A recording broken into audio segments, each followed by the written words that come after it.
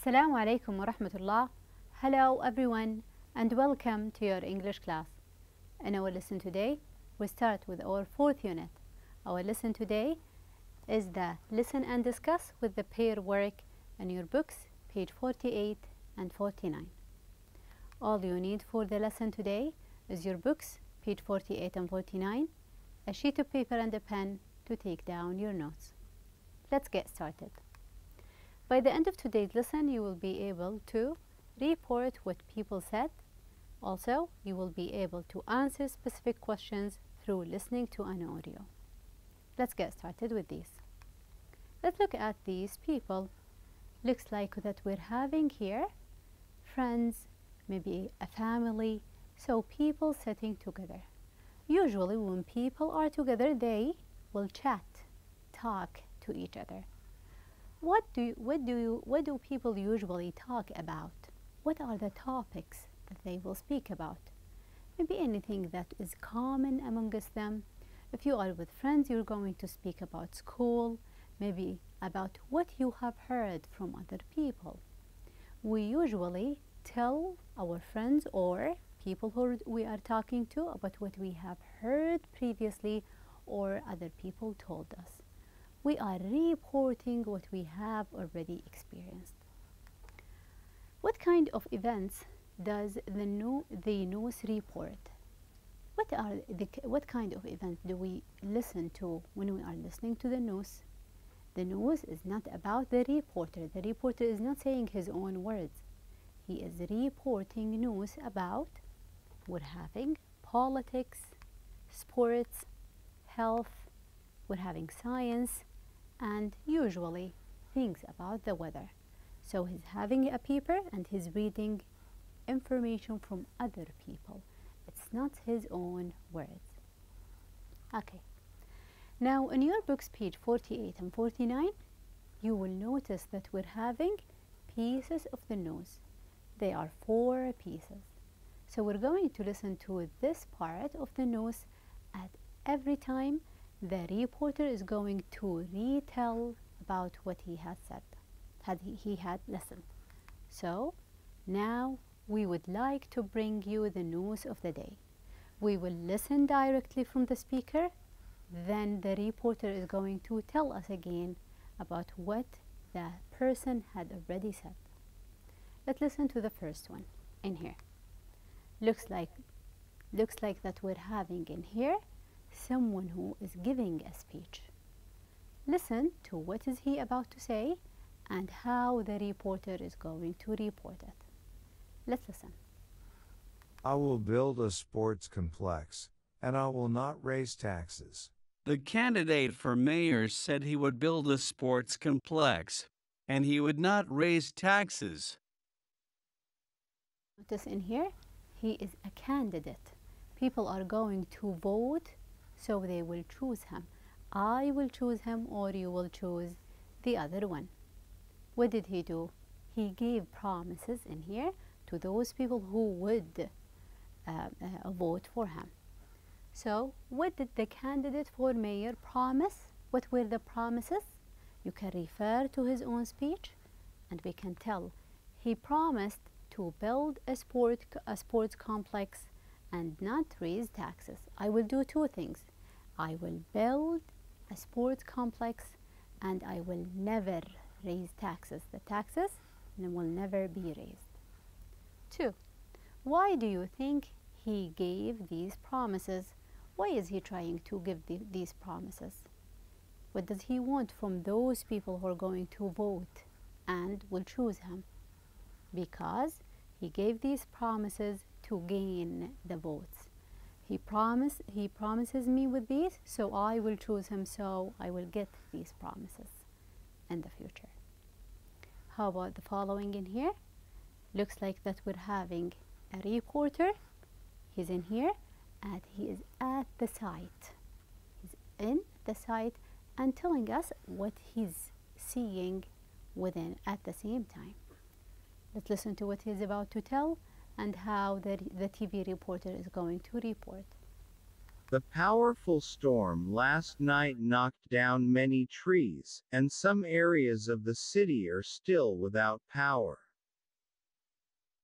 The on-scene reporter said that the powerful storm the night before had knocked down many trees, and some areas of the city were still without power. So, what is he he's trying to report? What is really happening within the situation? I can see now that many many houses were knocked down and many areas are still without power or electricity. So, what was the result of the storm last night? We had a storm last night, and now what is the result? It had knocked down many trees, and some areas of the city were still without power. No power, and many trees and houses were knocked down. Let's, let's uh, check the, the following in here. Looks like we're having he is like a nutrition or he is a doctor. He's going to tell us about health. He's speaking about health. Let's listen to him and how the, the TV reporter is going to report his speech. Let's listen. According to recent studies, pomegranate juice is healthy because it lowers blood pressure, and pumpkin seeds seem to improve memory.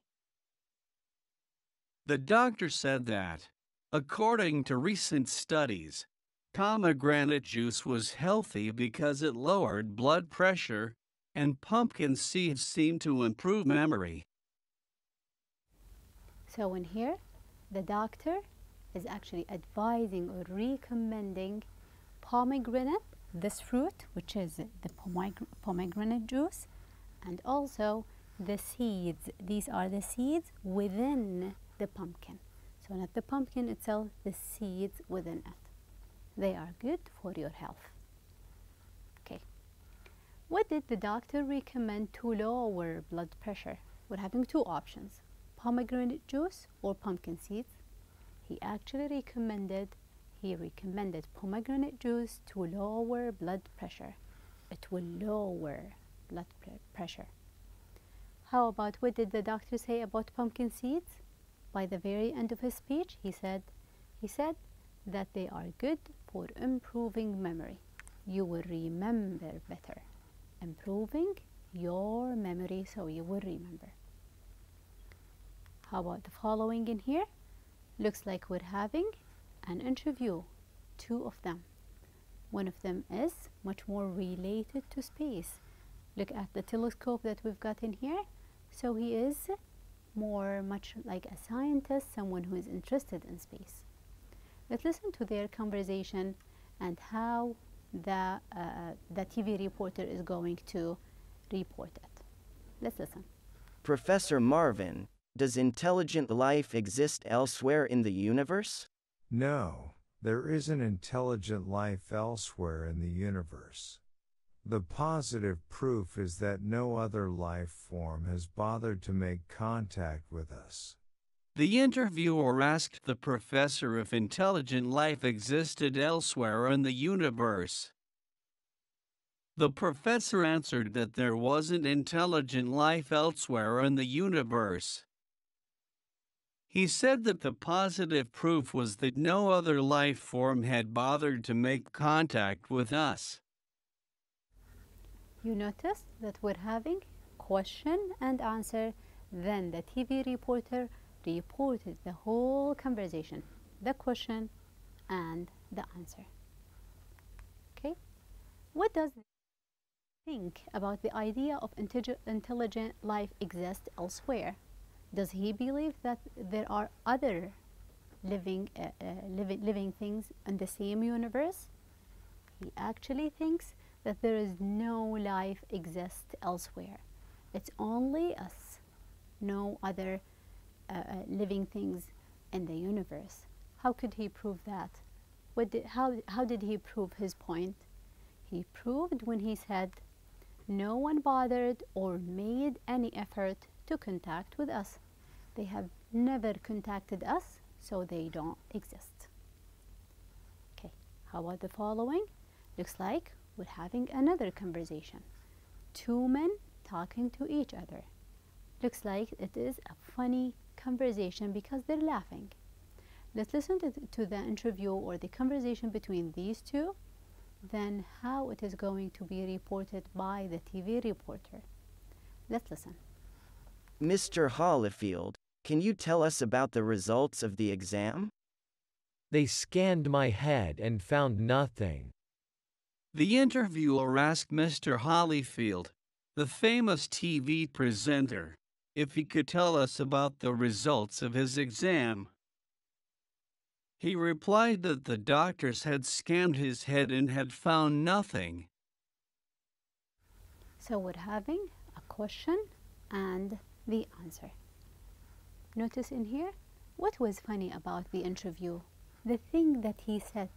That was a smart thing. They scanned my head and they found nothing. What does he wh- what did he mean when he say they found nothing? It has two meaning. Whether they found it empty, which is funny, or they found it healthy. There is nothing wrong with it. So whether empty or nothing wrong with it. So Mr. Hollyfield replied that the doctor scanned his head and had found nothing. Was it empty? No, it was all okay. Nothing wrong with it. Now let's go back to these conversations or to the to, uh, to the speech of the TV reporter and we will notice how he, he had already replied or he reported um, uh, these speeches. The first one, which is the, the candidate of mayor, he said, I will build a sport complex. Then the reporter said, the candidate of mayor, at the beginning he introduced the person who's saying that he is the candidate of mayor, said that he will, we have changed it into would. He would build a sport complex and he wouldn't, will not change it into would not. From well into would. We have changed it from well into would. So the tense of the verb should be different because I'm speaking about something that had happened before now. The following, which is the on the scene on the, uh, the on the scene reporter, the powerful storm last night. Notice last night we have changed it, uh, uh, knocked down. We have changed it into had knocked down. It happened in the past, so let's go older, which is the, the, the past perfect tense. Knocked down into had knocked down many trees. And some areas of the city are still, we have changed it into where. I will say are, but when you are reporting me, it's not going to be are, it will be part of the past for you. Is into maybe was. Then, when the doctor said, according to recent studies, pomegranate juice is healthy, we have changed is into was.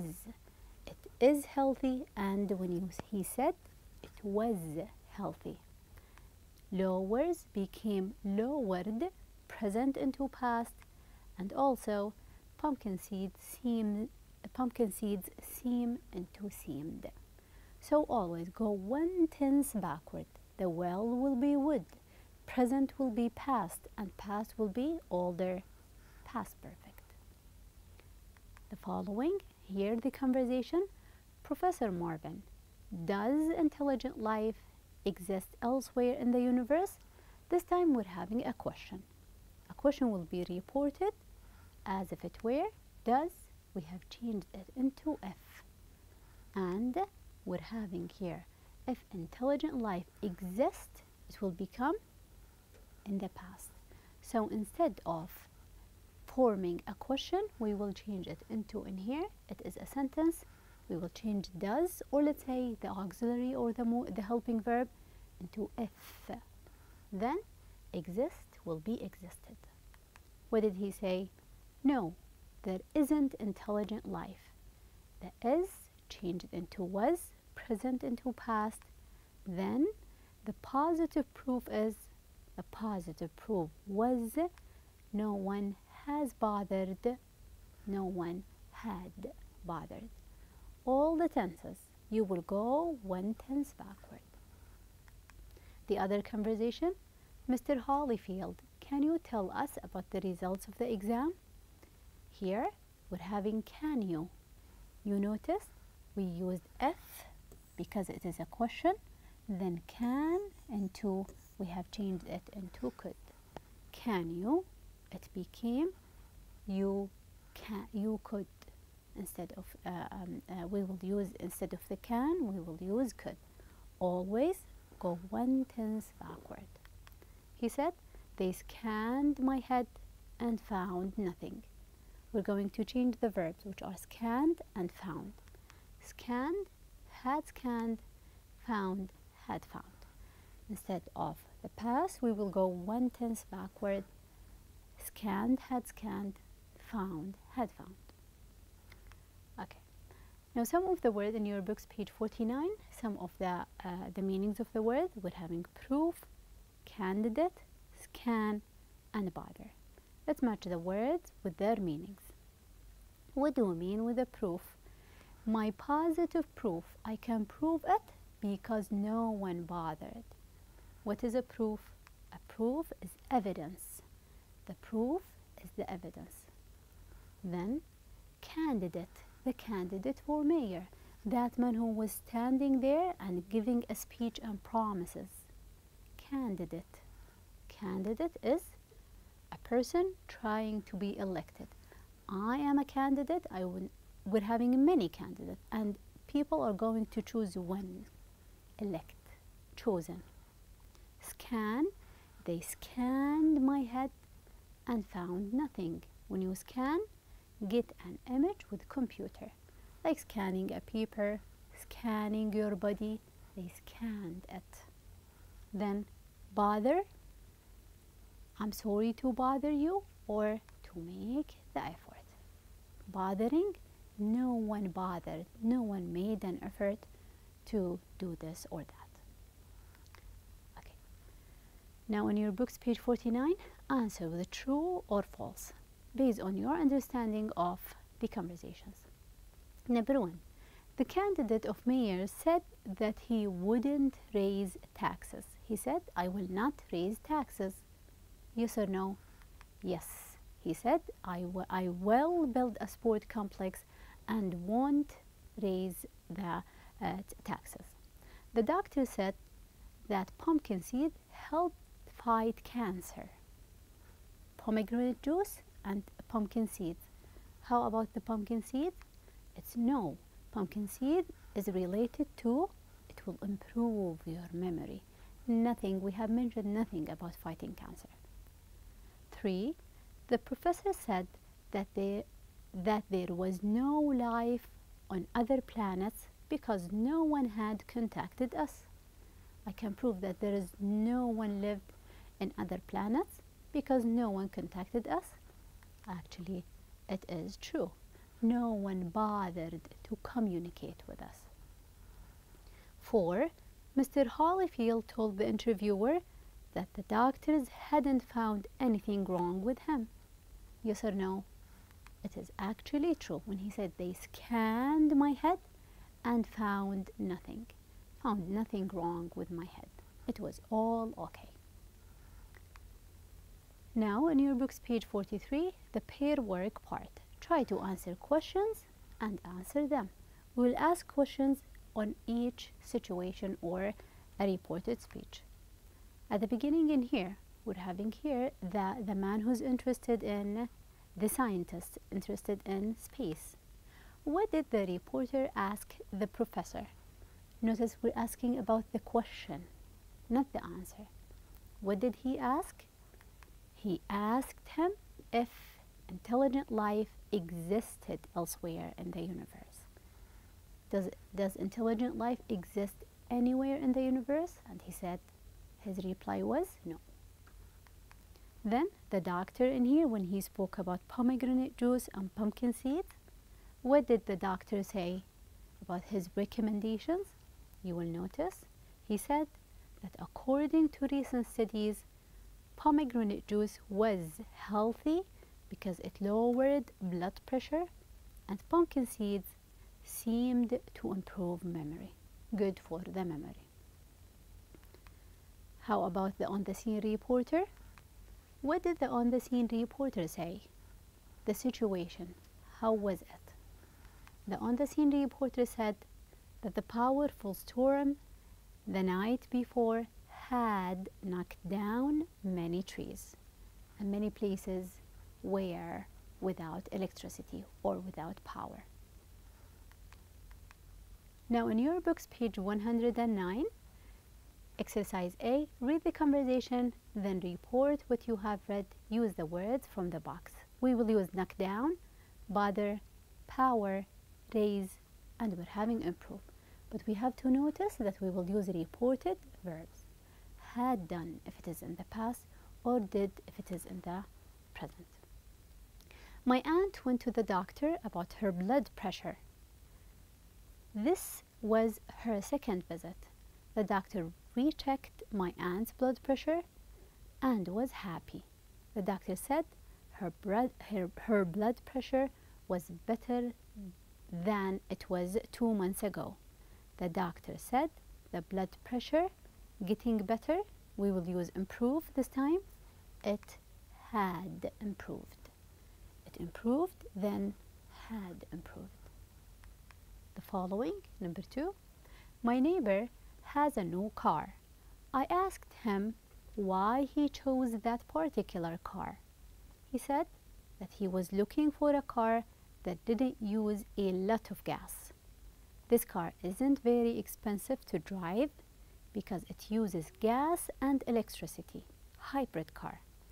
He said that this car got its from gas and electricity. The power. Here we're having the power from both gas and electricity. Next, last night Ahmed and Jassim were doing their homework at Ahmed's house, but Ahmed's little brother kept talking to them while they were, they were working. He was also taking photos of Ahmed uh, uh, with Ahmed's camera. As a result, Ahmed and Jassim didn't get a lot of homework done. Jassim said that Ahmed's little brother, what did he do with them all evening so they didn't finish the homework? He, he actually had bothered them. Not today, the day before. Had bothered them. The people in our city voted to make more parks for people to enjoy. Today, the city is going to demolish, demolish is to destroy, several buildings to make space for a big park near my house. My brother went to watch the demolition. He just came home to tell me about it. Now the brother is speaking my brother reported that they five buildings they demolished so knocked down they had knocked down the day before our science teacher mr adams is upset about the city increased the taxes again he sent an email to the city govern government about high taxes he believes that it is important to tell the government that the, taxes, the taxes are unfair. Mr. Adams, Mr. Adams said that the city taxes again and that they were unfair. The idea of raising, so they had raised. The idea of had raised, raised and had raised. For your homework, just listen to the news and find any news article, then report it. It is a direct speech. From you, it will be a reported speech. So find a news article and try to report it. Okay?